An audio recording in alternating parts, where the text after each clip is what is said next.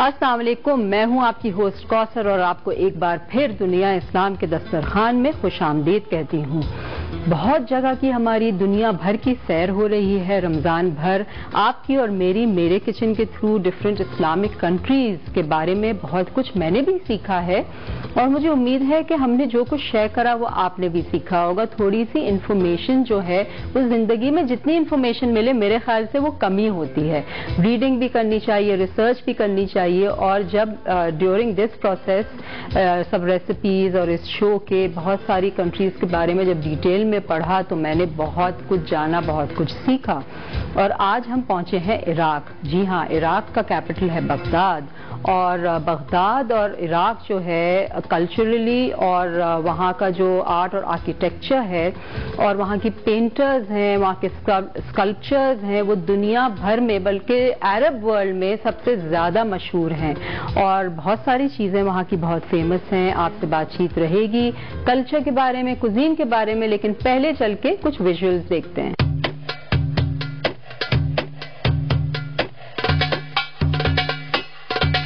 Iraq. Iraq अरब दुनिया के कदीम और अहम तरीन मुल्कों में से एक है। इराक का कैपिटल बगदाद है, जो तारीखी हैसियत रखता है। खिलाफत अब्बासिया से अलिफ लैला की दास्तानों और आज की जियो तक इराक हमेशा दुनिया की तवज्जो का मरकज रहा है। इराक की सरकारी जुबानें अरबी और कुर्द हैं। दुनिया के सात कदीम अजायबात में शामिल बाबुल के मुअल्लक बागात, यानी hanging gardens of Babylon Iraq ही में बनवाए गए थे एक दिलचस्प हकीकत ये है कि इराक में तकरीबन निस शादीशुदा जोड़े आपस में फ़र्स्ट या सेकंड कज़न हैं। इराक में तकरीबन पाँच हज़ार साल से शहद की मक्खियाँ पाई जाती हैं और शहद आज भी कई इराकी खानदानों की खुराक और आमदनी का अहम ज़रिया है इराक दुनिया की चंद अहम तरीन इजादात की जाय पैदाइश है, जिनमें 60 सेकंड के एक मिनट और 60 मिनट के एक घंटे की टाइमिंग पहिया, पहला दुरुस्त कैलेंडर पहला स्कूल और पहला नक्शा शामिल हैं। इराक की रिवायती मौसीकी मकाम है, जो कि अरबी शायरी पर कंपोज की जाती है और बहुत ही दिल नशीन है तहरीर का कदीम तरीन तरीका 3200 साल कबल मसीह में इराक में शुरू किया गया जिसमें हरूफ की जगह 600 साइंस इस्तेमाल किए गए।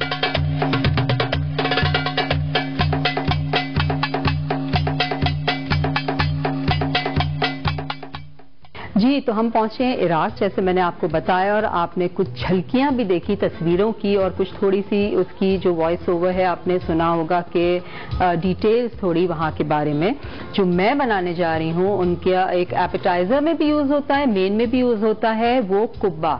और कुब्बा जो है, वो कबाब होता है बेसिकली और बहुत ही इंटरेस्टिंग उसकी रेसिपी है, क्योंकि उसकी जो कोटिंग होती है, वो चावल से होती है, और जो फिलिंग होती है, वो कीमे से होती है। और मैं आपको सब इंग्रेडिएंट्स बताती हूँ, और एक मिठास, उसके बगैर तो कोई खाना पूरा ही नहीं होता है, वो है खजूर की।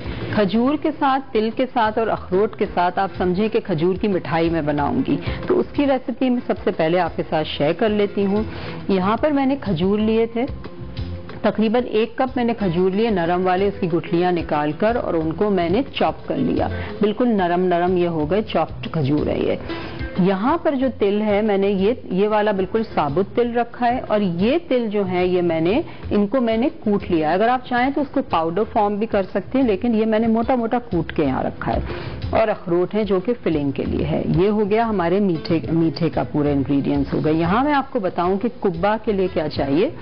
यहाँ पर एक कप चावल मैंने उबाले और उनको मैंने थोड़ा सा ज़्यादा उबाला कि हल्के से नरम रहे वो और उनको अच्छी तरह से मैंने मैश कर लिया। कांटे के साथ कर लें हाथ से कर लें। चॉपर में चॉप नहीं करना है थोड़ा सा हल्का सा आ, मोटा रहना है ये। अभी मैं आपको दिखाती हूँ। यहाँ पर ब्रेड क्रम है जो कि तकरीबन दो से तीन टेबल स्पून इसके अंदर ब्रेड क्रम डालेंगे। यहाँ मटर है। धनिया है, कीमा जो है, आप बीफ का ले लें मटन का ले लें, बकरे, गाय, मुर्गी, जिसका भी आपको लेना है। और यहाँ पर प्याज है और किशमिश आप ले लीजिए, ज़ीरा है, हल्दी है और नमक हसबे जायका। सबसे पहले मैं कीमा यहाँ चढ़ा दूँगी, वो मैं आपको बताती हूँ कि उसको सिंपल उसके इंग्रेडिएंट्स हैं। और बल्कि मैं आपको इंटरेस्टिंग चीज़ बताऊँ कि नमक जो है, इस वाली रेसिपी में एक्चुअली ओरिजिनली ये लोग नमक बिल्कुल नहीं डालते हैं। और ये नमक के बगैर ये बनती है और बहुत मज़े की होती है, क्योंकि उसके साथ जो उसकी ड्रेसिंग वगैरह होती है, वो बहुत अच्छी लगती है।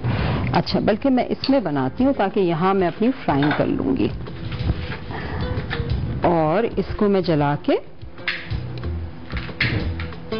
और जैसे मैं बात साथ साथ कर रही थी कि वहाँ के आर्ट और आर्किटेक्चर की बहुत खूबसूरत वहाँ पर बिल्डिंग्स भी होती हैं, वहाँ की स्कल्पचर्स बहुत खूबसूरत होते हैं, वहाँ की वर्कमैनशिप बहुत ज़्यादा खूबसूरत होती है। अच्छा ये एक टेबल स्पून के करीब मैंने तेल डाल दिया है, और इसके साथ ही मैं इसमें डाल दूँगी ज़ीरा। ज़ीरा जो है, आप एक टीस्पून कम अज़ कम डाल दीजिए, क्योंकि ज़ीरे का फ्लेवर इसमें अच्छा ज़्यादा आता है। ये डल गया और इसके साथ ही मैं कीमा डाल दूँ। अब इस, ये भी आपके ऊपर है कि आपको इसकी कितनी, कितने बनाने हैं और तकरीबन आधा किलो कीमे में बहुत अच्छे, काफ़ी सारे बन जाते हैं, क्योंकि इसके अंदर मटर भी डलेंगे, किशमिश भी डलेंगे तो ये काफ़ी बन जाएँगे। और इसके साथ साथ, और मैंने चिकन का इसलिए लिया कि ये जल्दी कुक हो जाता है और यहाँ हल्दी डालेंगे। हल्दी जो है क्वार्टर टी स्पून डलेगी। और हल्दी मैं आपको बताऊँ कि इसके अंदर भी थोड़ी सी डलती है, जो चावल यहाँ पर मैंने रखे हुए हैं, उसके अंदर भी मैं क्वार्टर टी स्पून डाल देती हूँ। और बल्कि अगर आप चाहें कि ये कुक होते वक्त आप डाल दें तो वो भी आप कर सकते हैं। और ये यहाँ होता रहेगा और मैं आपको चावल के साथ, अब मैं अंगूठियाँ उतार देती हूँ, क्योंकि फिर अंगूठी के साथ ये काम नहीं हो सकता है। और इसको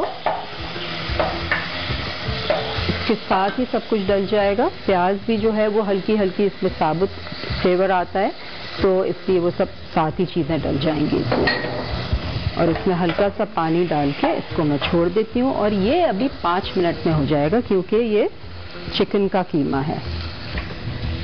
और नमक तो आप हसबे जायका डाल दीजिए। और जैसे मैंने कहा कि ओरिजिनली इस वाली रेसिपी में ये लोग नमक नहीं डालते। और इसको भी मैं ढक देती हूँ यहाँ से। और ये मैं आपको अब बताती हूँ कि यहाँ मैंने क्या किया है कि चावलों के साथ चावलों को उबाल के थोड़ा सा नरम उनको उबालना है और इनको बिल्कुल ऐसे मैश कर लेना है। और हल्दी, अगर आप चाहें तो आप चावल उबालते वक्त डाल लीजिए या जैसे मैंने अभी डाली है, आप वो डाल लीजिए। अच्छा इसमें मैं डालूँगी तकरीबन हैंडफुल, जैसे कहते हैं ना मुट्ठी मुट्ठी भर के जो होता है, वो तकरीबन तीन टेबल स्पून आ जाते हैं। ब्रेड क्रम और इसमें ब्रेड क्रम आ जाएँगे। और ये सिंपली ये करना है, कीमा जब ये हो जाएगा तो उसके साथ कि ये आउटर इसका बाहर की लेयर होगी और कीमा इसके अंदर जो है वो भर दिया जाएगा। इंटरेस्टिंग है ना? अच्छा जी, इसके अंदर अब मैं ये करती हूँ कि मैं किशमिश भी डाल देती हूँ क्योंकि वो साथ ही पक जाएगा, और मैं मटर भी डाल देती हूँ इसके अंदर। और यहाँ हमारा ये कीमा हो रहा है।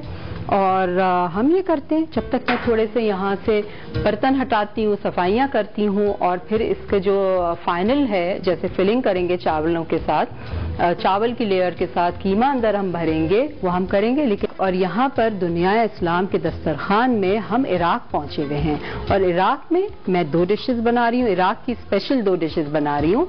एक कुब्बा और एक मैं बना रही हूँ डेट्स के साथ, जिनको मैंने अच्छी तरह से यहाँ पर उसको पीस लिया है और ग्राइंड कर लें उनको अच्छी तरह से या चॉप कर लीजिए। खजूर को लेके जो कि मैंने अच्छी तरह से चॉप कर लिए थे इनके बीज निकाल के।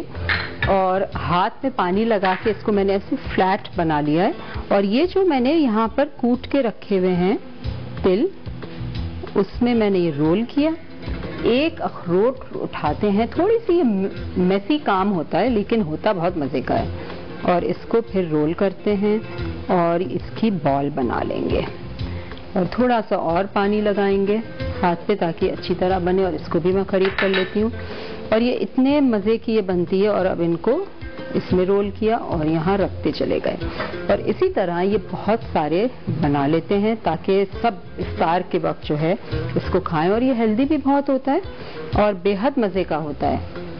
अच्छा इसको भी रोल करके और इसको उप्स, इसमें जैसे मैंने कहा थोड़ी सी ये मेसी काम है लेकिन ये एक दफ़ा ये हो जाता है इसको फिर आप थोड़ी देर के लिए रख दीजिए फ्रिज के अंदर तो ये बिल्कुल परफेक्ट हो जाएगा। और थोड़ी देर लगेगा आपको कि आपके हाथ जो हैं थोड़े मैसी हो गए, लेकिन ये अभी ये हो जाएगा।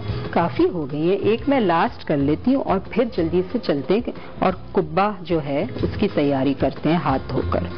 और ये फिर मैं बनाती रहूँगी बहुत सारी और और ये काफ़ी रिच होती है वैसे। मुझ जैसे के लिए तो मेरे ख्याल से काफ़ी बड़ी है मुझसे तो ये शायद पूरा ना खाया जाए। और मैं शेयर करूँ किसी के साथ इसको। और भी करके मैं रख देती हूँ। नीट एंड टाइडी यहाँ पर। और ये कीमा जो है अच्छा इसका जो है, इसको बहुत अच्छी तरह से सुखाना है। इसमें पानी नहीं रहना चाहिए। और क्योंकि मैंने आपके साथ साथ ही यहाँ पर इसको पकाया है, लेकिन अगर आप इसको पहले से बना लें और थोड़ा सा कूल डाउन कर लें तो ये और अच्छा हो जाता है। और इसको अब इस साइड पे कर लेती हूँ। और अगर घर में कभी कीमा बचा हुआ भी होता है, आप चाहें कि वो यूज़ कर लें तो आप वो कर लीजिए। उसके अंदर आप प्याज डाल दें, मटर डाल दें, किशमिश डाल दीजिए, हल्दी डाल दीजिए, ये सब चीज़ें आप डाल दीजिए। यही थोड़ा सा पानी, क्योंकि यहाँ पर भी मुझे ज़रूरत पड़ेगी कि कुब्बा जो है, उसको अच्छी तरह से मॉइस्ट होने चाहिए, हाथ थोड़े गीले होने चाहिए। अच्छा इसमें इनका जो साइज़ है, थोड़ा सा ये ओवल शेप का होता है, जैसे अंडा होता है। और अगर आप चाहें कि आप अपना कोई स्टाइल में थोड़ा राउंड बनाना चाहें तो आप राउंड बना लीजिए। लेकिन ये हल्का सा वो होता है, ओवल होता है। और इसमें हम ये डालेंगे और धनिया भी डालूँगी मैं। धनिया मैं कुछ ऊपर से डाल देती हूँ, बल्कि मैं मिक्स कर देती हूँ धनिया। ज़्यादा आसान हो जाएगा। धनिया का फ्लेवर अच्छा यहाँ पर पासले आप यूज़ कर लीजिए। अगर आपको पासले ना मिले तो आप धनिया यूज़ कर लीजिए।